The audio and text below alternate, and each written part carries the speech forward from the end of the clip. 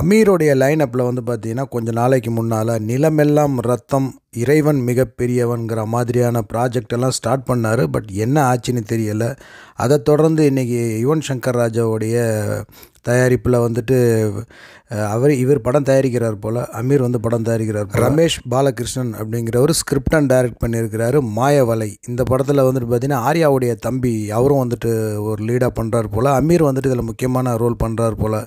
மாயவலை அப்படின்னு சொல்லிட்டு பேர் வச்சுருக்கிறாங்க. காலையில் வந்துட்டு பார்த்தீங்கன்னா யுவன் சங்கர் ராஜா கூட அது சம்மந்தமான ஒரு வீடியோ போட்டிருந்தாரு.